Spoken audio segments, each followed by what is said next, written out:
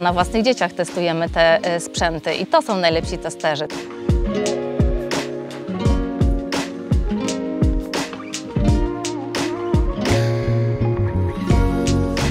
Zakładając firmę 20 lat temu, w szkołach była zielona tablica, była kreda bezpyłowa już i był rzutnik pisma. Nie wiem, czy wszyscy wiemy o co chodzi. Przeskok, e, jaki został technologiczny zrobiony, jest ogromny. Smartfloor odkrywa przed dziećmi nowe perspektywy.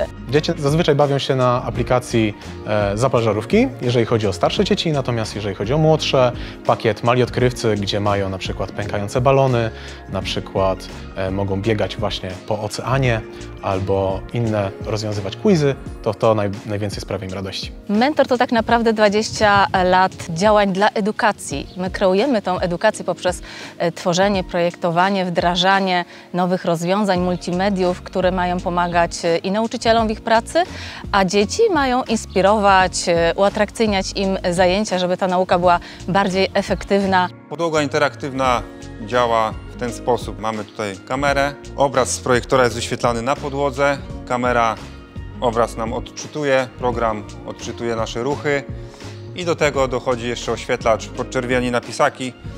Pisaczki mają zakończenia z diodami podczerwonymi oczywiście i dzięki temu kamera jest w stanie wychwycić ten ruch tych pisaków i pokazywać nam pełen obraz tutaj y, wyświetlany przez projektor na podłodze.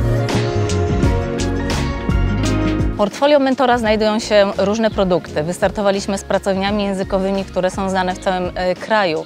Posiadamy szeroki wachlarz e, rozwiązań interaktywnych pod własną marką MyBoard. To są tablice, monitory interaktywne, stoły, stoliki, e, również e, dla najmłodszych dzieci. Dzieci mogą faktycznie zobaczyć, jak te roboty jeżdżą, że faktycznie są w stanie coś zrobić. To nie jest czysty program na wyświetlający się nam na monitorze. My naprawdę po prostu dostajemy coś realnego, co po przeprogramowaniu może na przykład się właśnie zaśmiać, zagrać jakiś dźwięk, pojechać albo zagrać nawet melodię.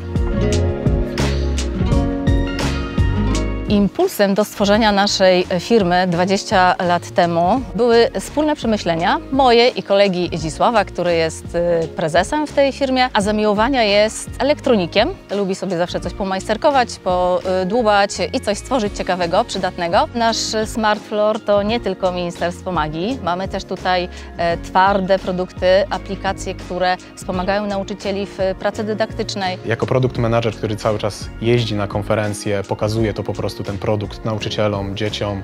Widzę to na wypożyczeniach, przy różnego rodzaju okazjach. Po prostu zadowolenie z tego, że jest to coś innego. Jest to inny sposób na interakcję, inny sposób na edukację. Po prostu coś nowego, e, innowacyjnego.